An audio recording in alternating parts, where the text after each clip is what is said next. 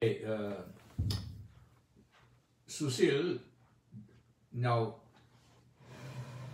Kapilavastu is an unknown place today to uh, most scholars.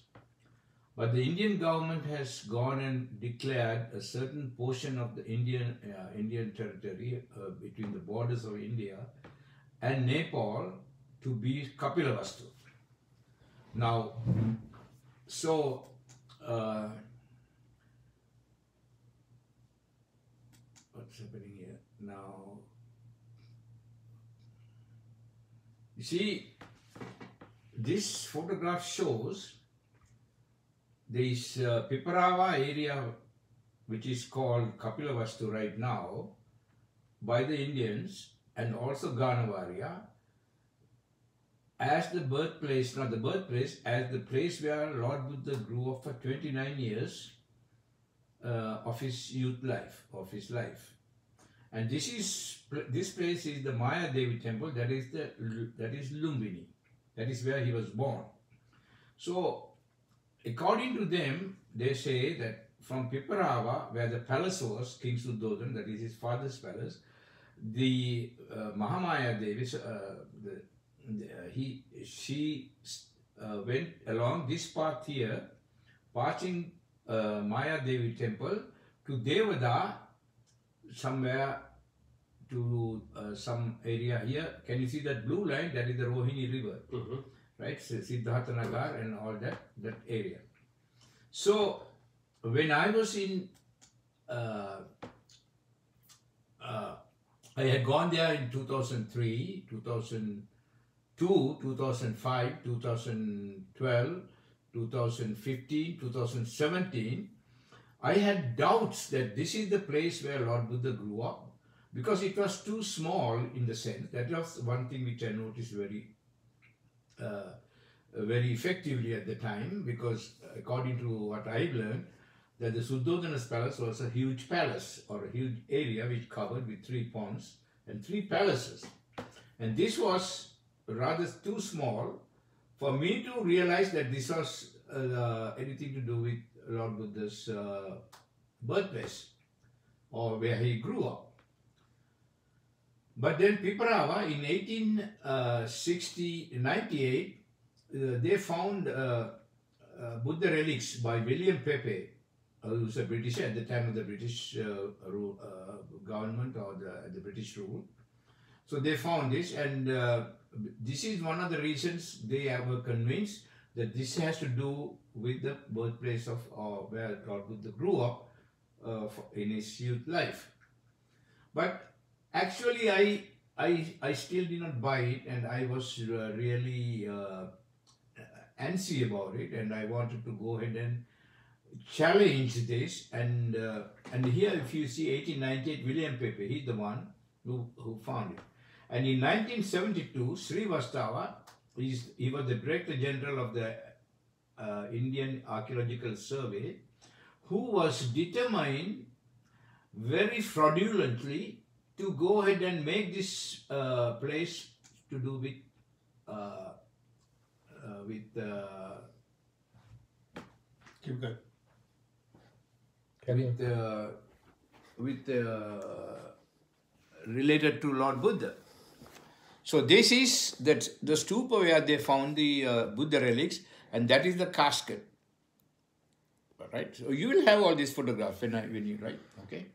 So now, now they are that in 1972. Now this is not in 1898. In 1972, Srivastava said he also found uh, Buddha relics, uh, and which uh, by that he claimed that yeah, yeah, based on the size of the burnt, you know, but it was declined by the scholars. So this is one of my diagrams which shows this is the finding of 1898, and below that here is where Srivastava said that he found it. So I proved it that this is wrong because you cannot find anything uh, uh, of recent time uh, below one which is of 1898 okay So I will this thing. So I will show you all that details on that.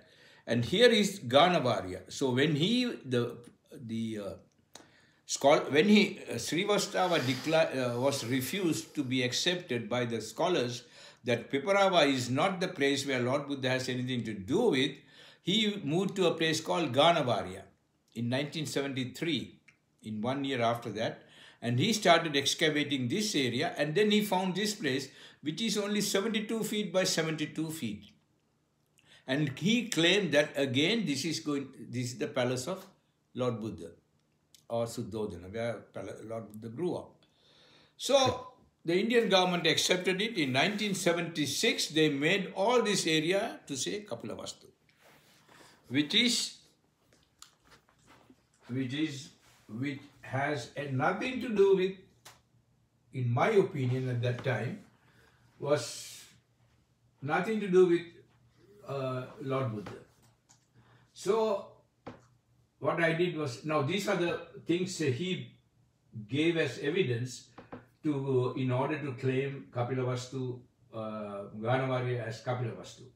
He said he found some seals, which are seals like the you know the, the uh, sealing some uh, lids, right, with the name Kapilavastu being inscribed onto those seals.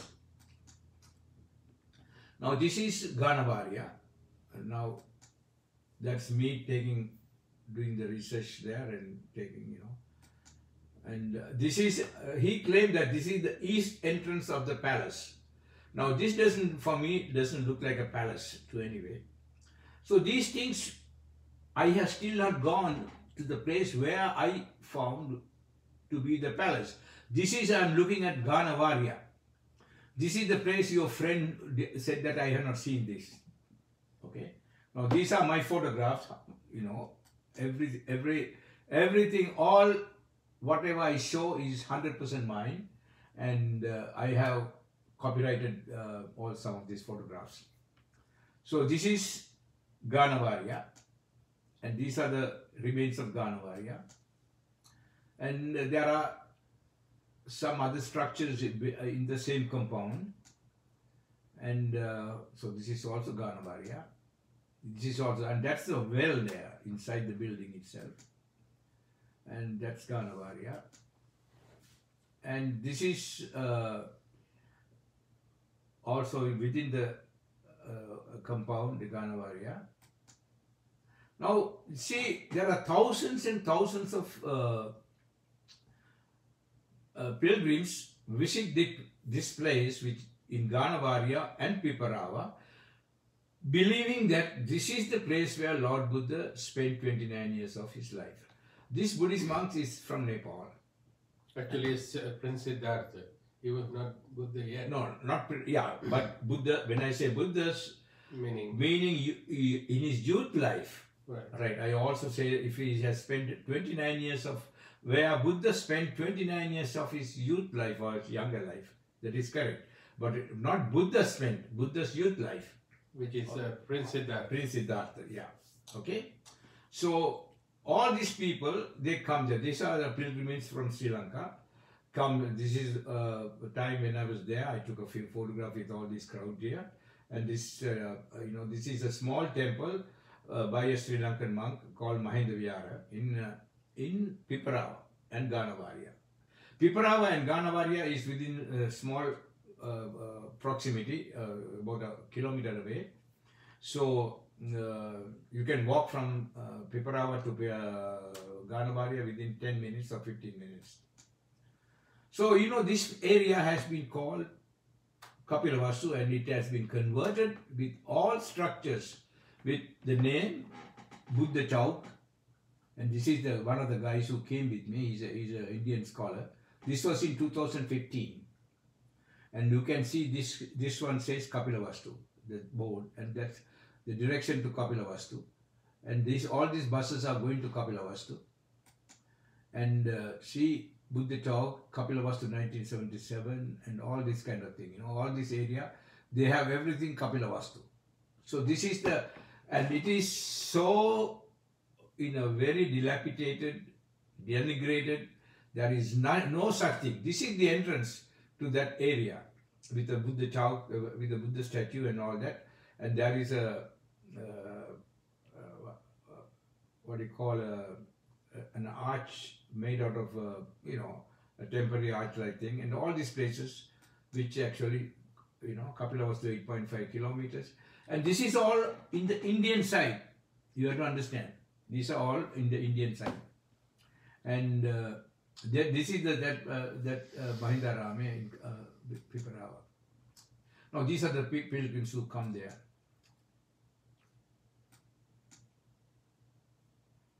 So with this, uh, I had a bit of a heated argument with uh, the curator at uh, Ganavaria at Piparawa when I went and told I don't think this place is Kapilavastu. And he said, well, don't uh, rock the boat and uh, why do you say think that way and all that. I said, this is has no uh, uh, parallel descriptions with the text, Buddhist text. This is too small to be a place, uh, what I have studied and my, according to my understanding. And uh, this has no place, I, I never talked about Rohini or Banganga or anything at the time. I just only concentrated on the structures which I saw in Piparava and Ganavaria. Okay? So now I even told them that Sir General Cunningham said monuments themselves cannot enable us to indicate the real site unless the ancient textural descriptions of the monuments speak through their inscriptions and location. Okay, that was my algorithm for my research. That means if you if there are if you find anything on the ground when you say on the ground like uh, uh, artifacts or archaeological ruins it has to match with something which has been already stated in the in the in the in the text. I'm not talking about buddhist text any text western eastern or any place or written by shakespeare or anybody. Or it has to have inscriptions which says what it is. Otherwise there is no way that you can tell exactly match with otherwise it will be a your hypothesis only. Even if you do a dna test or a carbon dating test that means you have no real proof what it is. So that is what he says there.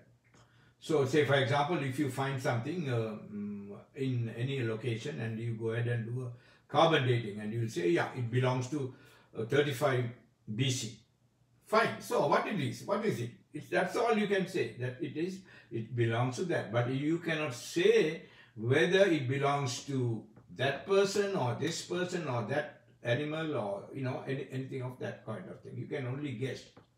So that is what he says and that is a very important statement. And this statement is found in the archaeological survey in written in 1878 by sir general cunningham so, on that premise, I also started reading while I was there about the Chinese pilgrim Fa Hien and Xuanzang, who actually gave the description how uh, Kapilavastu and how far away Kapilavastu was from the Lumbini and other uh, important sites. So, this is one of them, which is actually belong to uh, Kakusanda Buddha. King Asoka did a pillar, in, erected a pillar where Kakusanda pillar, uh, Kakusanda Buddha was born. And Fa Hien measured the distance from this pillar to the palace of King Suddhodana or Prince Siddhartha or the where Lord Buddha uh, lived in his youth, the palace. So this distance was marked as 4.6 miles, which is actually, it was not written in miles, it was written in lei, L-E, lei, in Chinese distance measurements, from that point to the place of Kapilavastu. Now, Piparava and Ganavarya does not come close to it. You understand? So, and then this is Konagama, Buddha's uh, Asoka pillar. Right now, this one it's a very recent photograph. When I took the photograph in the initially 2015, it it was not had any kind of um, uh, any kind of um, tiles or tile work and all kinds of structures. It was all in the open. So there is a measurement of this also, which uh, I think it was 4.7 kilometers. Okay, I can't remember the exact date. I didn't study before I came here. So this is the inscriptions which was written by later people saying that it is the place of the birthplace of Konagama. Right now, that is the same uh, same pillar which is on the ground right now, uh, which has been preserved. Right, and you find this inscription there. Right, excuse me.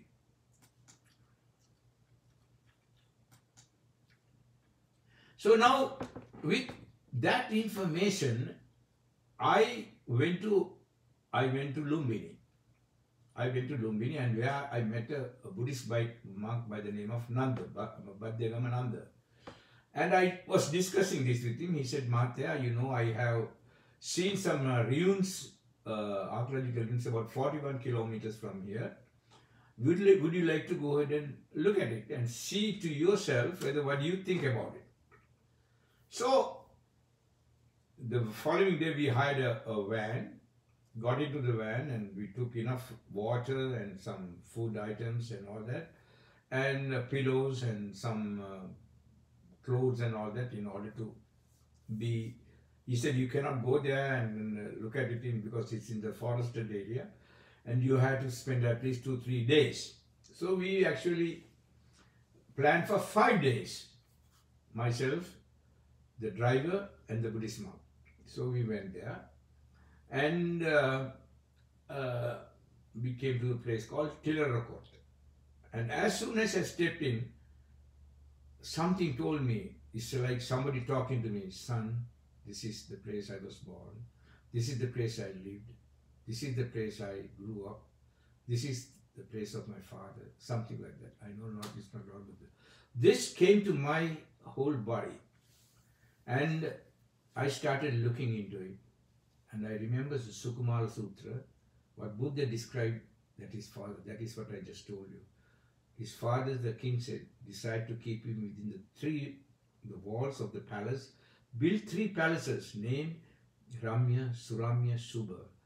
One for the rainy season, one for the winter season, one for the uh, uh, summer season. Three distinct. And I saw the elevated footings, which I did not see in Piparava nor in Ganavarya. Now, these are the footings right in the jungle area. The very, this is the, that priest which who took me down there. So I was taking the photographs. Very wide footing. This is the fort because this goes 1,350 feet one side and another side 1,370 feet. Now that is a large area compared to 72 feet by 72 feet palace where uh, Srivastava said that it is uh, the palace of King uh, Suddhodana. Now I'm going to show you the things I took the photographs of. Now these are the remnants of the footings. It's all in the forested area. Now, are they are these preserved by the uh, Nepali government as arch- archaeological sites? No. So, what do they believe these to be? Nepalis have no interest in Buddhist uh, archaeology. Indians have interest in Buddhist archaeology only to make the money. Nepali has now it is coming. Now they are coming to this side because of my shouting and my pressure. Not you see, the grass is grown all over the place. There are wild uh, animals in there. Snakes, no snakes, I think, but you can see some lizards and all kind of things. Everywhere it is. You, this is at least the places where I could walk. I I went through brushes with the camera, uh, uh, with uh, my body being torn up with the thorns. But then Nepalese has no interest. That is why I'm actually That is why I am actually bringing the Nepalis to realize that this is very important. This is very important for their own heritage.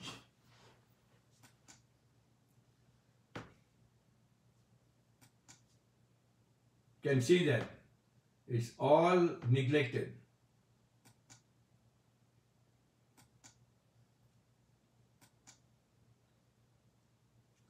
The So you said that there was some kind of uh, see that that uh, footing, that rock right there, yeah. this one seemed to have some kind of uh, some kind of carving in it. No, it's Maybe actually in- in- yeah. Inscriptions. No, no, not no inscription. Th- those are actually what happened is, see, there would have been poles uh, in the structure. Bow would have been uh, uh, what do you call uh, out of wood. It is not out of built right, right. You know, Are these uh, you know rocks from the quarries? not rock. It is brick, Granite? bla- Bricks. burnt brick, Okay. burnt sla- brick slabs.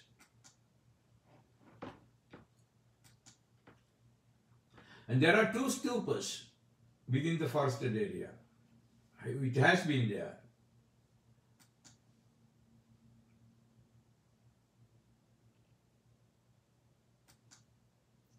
Then that is you. I, I did the research and I even went on to, to get the satellite photographs. So the satellite photographs you will see the two stupas, satellite view of the two stupas, maybe in ruins covered in the jungle. Here are the two stupas. Mhm. So the the runes are here. the runes cannot be seen because it is hidden in the uh, bushes. So you are the first person who wrote to UNESCO about this. I'm not saying the the people know about it. Uh-huh. The British scholars know about it. When it comes to saying that this is the place where Lord Buddha was born and I have the textual evidence for it, I'm the first person. And then, uh, so UNESCO, after your uh, letter, did some investigations, They have already seen some people, yes. and then they say that uh, No, they, there's they no conclusive evidence. no conclusive evidence. They said, Mhm. but now I'm I'm saying it because the pressure from India. Mhm. My father built three ponds and one blue blue lotuses and one white lotuses and one red lotuses, Sukumara Sutra. That is why, because they have not seen this. Mhm. Letter doesn't show all the details. Right. Like for example, I send them the photographs. So I am now. The Nepalis are going to support me. The government now we, we had a, the consul general coming now. The president, the uh, Nepali TB people, and all these people are behind me now because they realize the gravity of this. They realize the value of what I'm doing. So they are going to give me the fullest support. They, I'm pretty sure they are going to uh, do some financial support, but I said, not to me. Whatever you all want to do, go ahead and do that. And I do not want to touch any kind of money from any of this uh, money that I will derive out of this or somebody offers, which has been already done about eight people. I said, no, thank you. And uh, so we are going to hit hard on UNESCO that this is the place, there is no question about it. I'm going to show you, you have not seen yet, you have not seen one tenth of it yet. So right now itself, people realizes up to this point that I have very good evidence to show that this is the place where uh, Siddhartha or Lord Buddha, when in his small age, young age, grew up. Okay? Because the Sukumara Sutra says in his Sukumara that Lord Buddha himself says that I had my father built three ponds, three palaces, which I just showed you the foundations.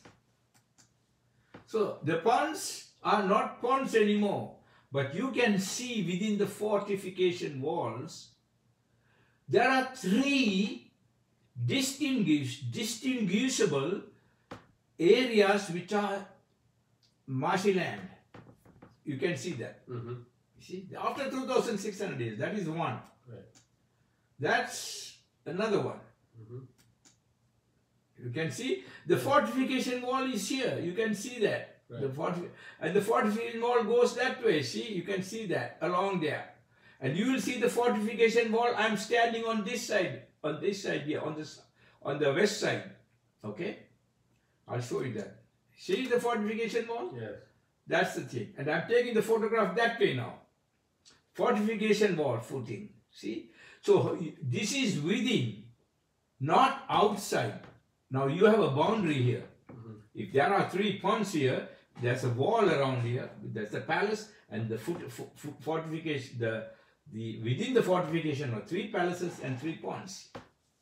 So now, where is the parallel which I'm drawing from the Buddhist text is exactly what, is, what, I- I'm finding on the ground.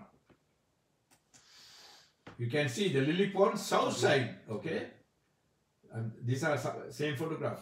This is one of the most convincing evidences. I asked some of the Indian scholars, where are the ponds? You don't have any ponds there. They did not have any because they don't know the Buddhist scripts. They have not read the Buddhist scripts. They have no idea. Just because Srivastava goes and finds something and say this is Kapilavastu, the palace, right? And that is what he said. This is the ponds. You have not yet finished, my friend. You are. This is the second most, the third most strong evidence, or not the third. The first was the Gotihawa, Niglihawa, the three palaces, and the three ponds, the fourth evidence. Okay?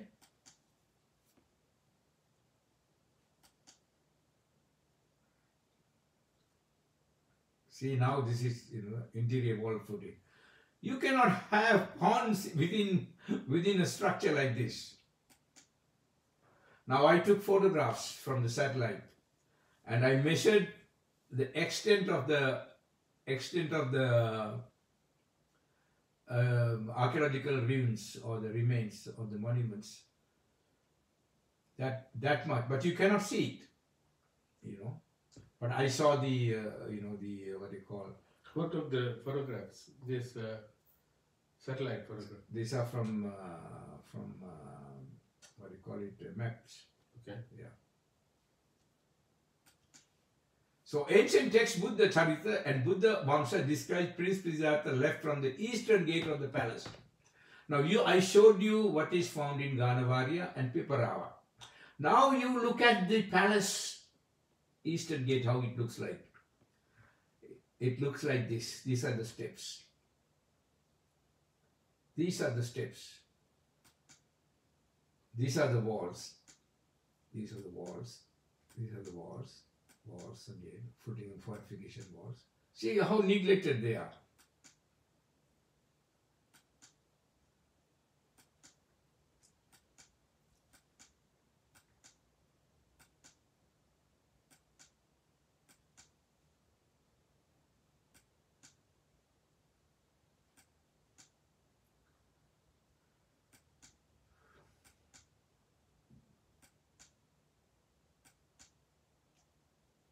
Now, in the Buddhist text also, it says that when Lord Buddha went, or when he uh, renounced his uh, princelyhood and walked out from the eastern gate, one of the walls uh, leaned towards him.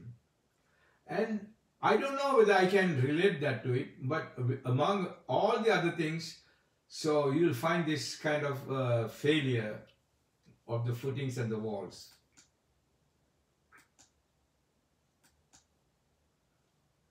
And also, the Chinese uh, pilgrims Fa Hien and Xuanzang describes in their travel logs that there they see three elevated footings, remains of remains uh, not footings, structures half built.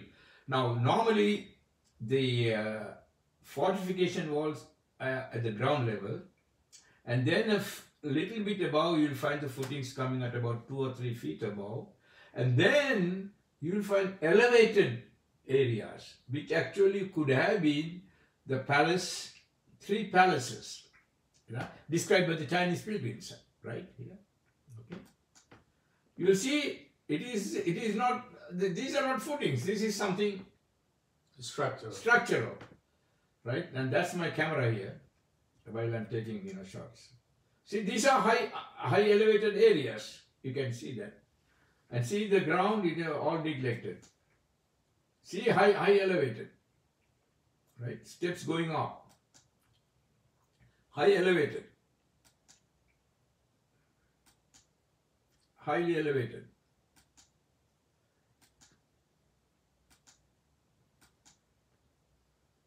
Now, this is also and it- this is the area Chilrakut. All this area is now neglected and very poor people live. Now, my friends, you have seen what I have seen in my own eyes, which I did spend five days there. Now, in order for me to go ahead and relate to what I have studied, my knowledge for you to dispense my knowledge in order to to relate to these uh, archaeological ruins i should go ahead and look at some of the textual evidence. Now according to the according to the Khuddaka Nikaya the buddha charita and also in the Ashvaghosha three books says that the kapilavastu the princess uh, uh, uh, King Suddhodana's palace was located at the shores, at the banks of the Banganga. My dear friends, there is no river in Piparava. There is no river in Ganga, uh, in uh, Ganavaria. So, how could they say either the Buddhist texts are wrong or these people who are writing is is writing something which is erroneous and also what is being seen is not the palace. So you can see if i see in the landscape of these archaeological ruins which i saw whether there is a Banganga yes there is a river. Right in the western side of this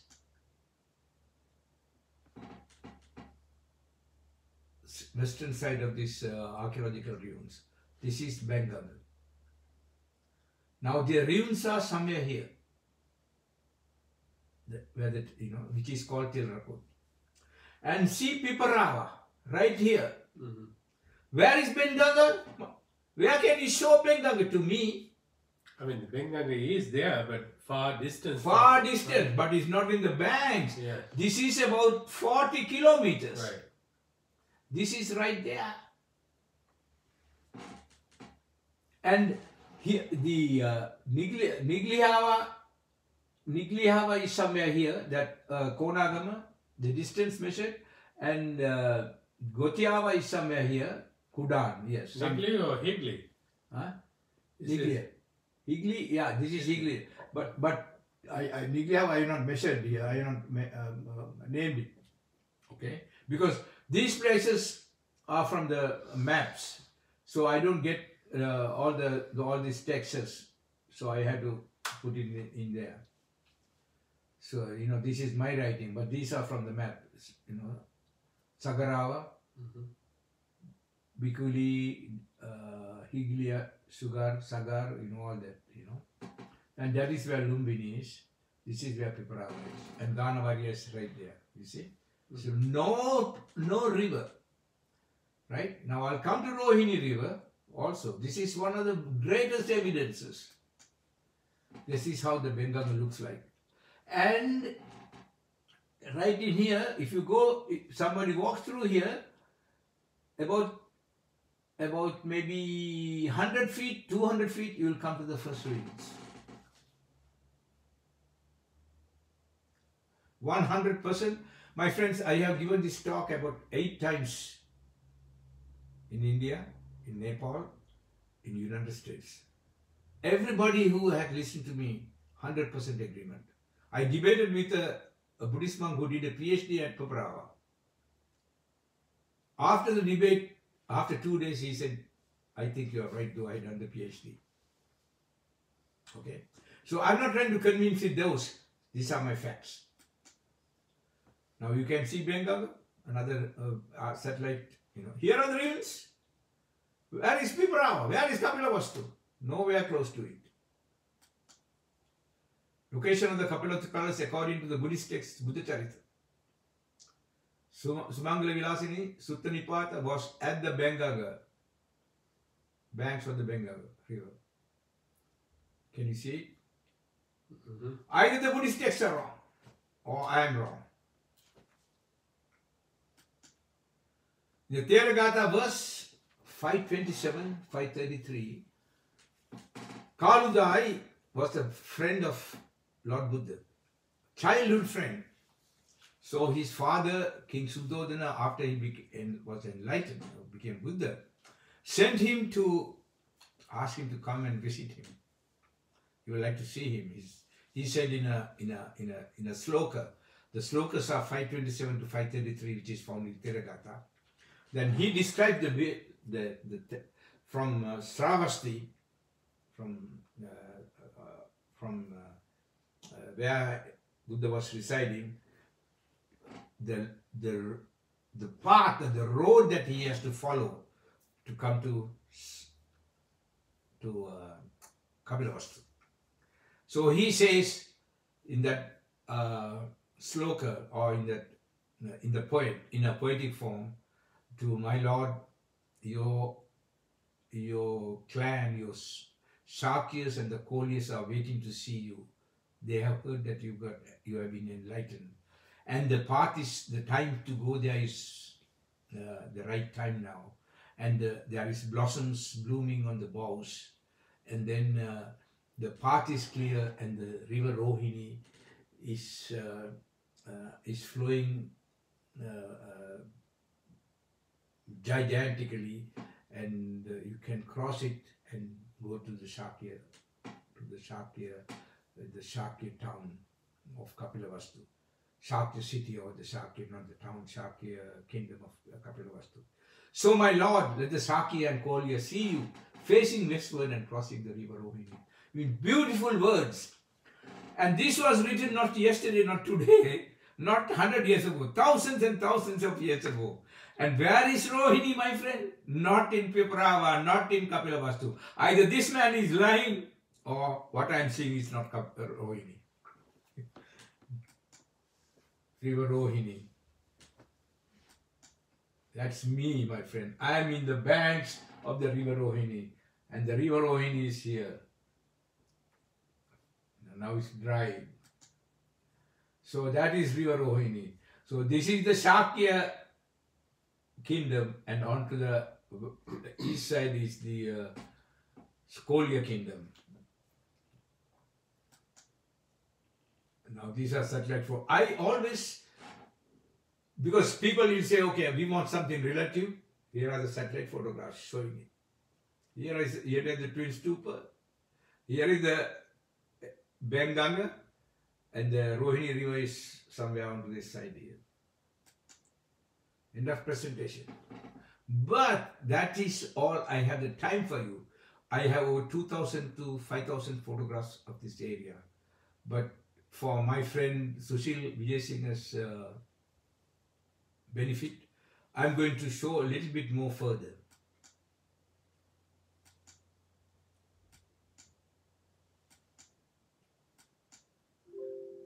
What happened? It went back, I think. No, no.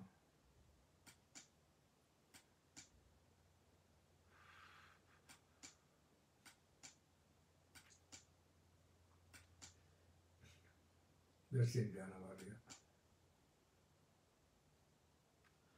Now, what I'm going to tell you is very controversial because I'm having uh, friction Mhm.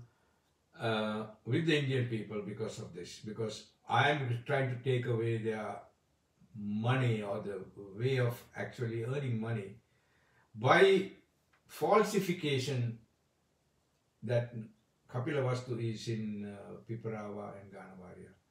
And I have the evidence, very strong evidence, and they had no way of uh, uh, defeating my purpose. They have no way of uh, saying that I don't have the evidence. So this guy, what's his name, uh, Srivastava, in one of his articles, he wrote that when he could not say that Lord Buddha had a huge palace, he diminished Lord Buddha's father to be a landlord. He said he was no king but a landlord or a chieftain of the clan. Buddhist scripture has exaggerated that Lord Buddha was the son of a king, Suddhodana, was made a great king in the later Buddha text, greatly influenced by the religious sentiments of the devotees. So I even told this to the Director General of UNESCO, AOD, uh, in France, in Paris, when I talked to her. So what I want to tell you is that when people cannot win by evidence, they try to denigrate, they try to use language to put down the other person. That is what Srivastava said. And I challenge him, though he is the director of archaeology, to, um, I'm a small person compared to him, to come and debate with me. And I told him that you will lose. I have not spoken to him personally, but I made him known through other means, letters and all kinds of things. Come and debate with me, you will lose. And I am not going to close my eyes until the day I see that Kapilavastu is, uh, is renamed as Kapilavastu. So this is one of them, one of the evidences. And this is what he lied. He said that he found Lord Buddha's relics uh, uh, in uh, Piparava. My friends, Lord Buddha has three types of relics, according to Thupavamsa. One's the size of mustard seed, the other the, the size of uh, uh, bean size, the size of beans. The other, the size, the three, the two, the tooth, and one the neck bone, and the other one is the hair. So those are the three sizes which you will see. You will not see bones like what you see is shown there. This is completely falsified mega-sized bones, not relics of Buddha. And the, the people were fooled. In, this was depicted in New Delhi in 2002. And when I told that, some people thought that I am disrespecting to the to Lord Buddha. I said, this is not Buddha's relics. That's it. And everybody, you know, looked at me amazingly and you know, not amazingly, in bewilderment. Amazingly. Yeah, and they were they were not happy about what I said.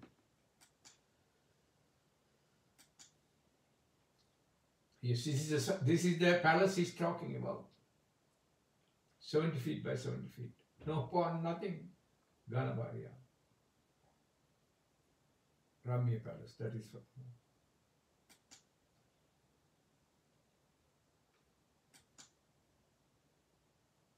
This is, you know, according to his, you know. And uh, this is this is the this is the Tilaurakot uh, ruins, and that is the over here. Mm -hmm.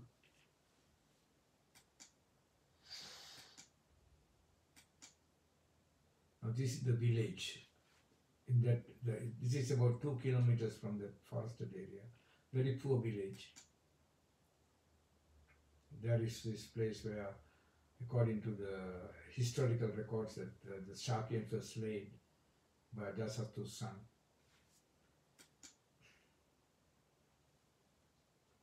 And you see far distance there are wild buffaloes and all that around here. No, we I slept in a at a tree. I'll show you I slept. So these are the people. Very beautiful. You don't see them as Indians. They don't look like Indians. I'll show you the differences.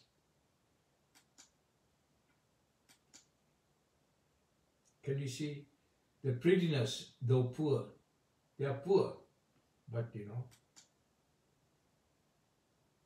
Can you see? I slept in the under, uh, this tree here. I put on hay, covered with this thing. Uh, the Handro slept in that van.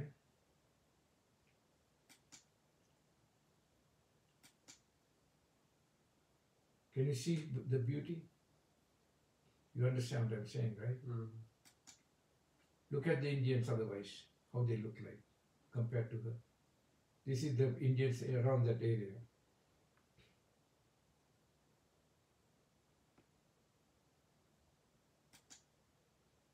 These are Nepal's in the Tarai area. These photographs were taken in 1984 when I went to Dalek.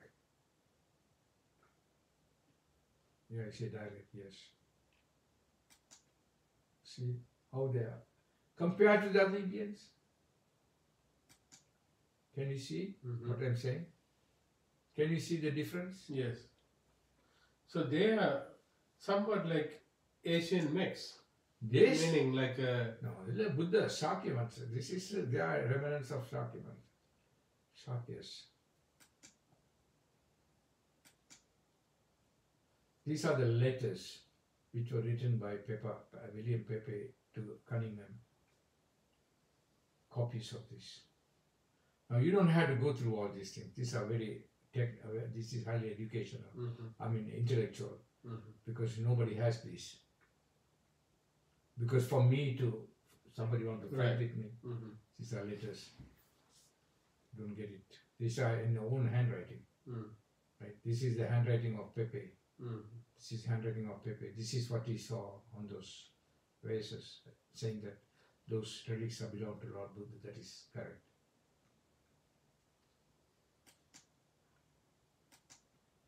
These are the vases he found. One, two, three, four, five. So this is the vase that the relics was.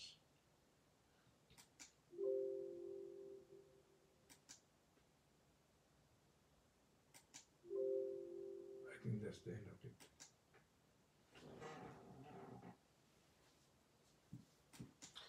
Thank you, Dr. Sunil. It's a wonderful uh, presentation and a lot of information, Yeah. and you make a lot, lot of sense. So, you know, you took not only information from Buddhist scriptures, but the location uh, related to the surrounding, the riverbanks, people, the way they look, and all this uh, Ramya Suramya taking all the pieces of the puzzle, you are putting it in the right place, which is proof that this make much more sense than what it is uh, believed to be the place of the uh, birthplace of the uh, Prince Siddhartha. Without without any argument. Otherwise, people won't support me. Yes. Now the people are supporting me. So and they want me to take the lead, Mm. and I I don't want to be the lead. I, I will take the lead, but I my intention not to be the leader of this, but I like to be the one wanted to be remembered in my legend I was able to get this place renamed to be Kapilavastu. And I know that I will. I think you will. Yes. Congratulations. Thank you.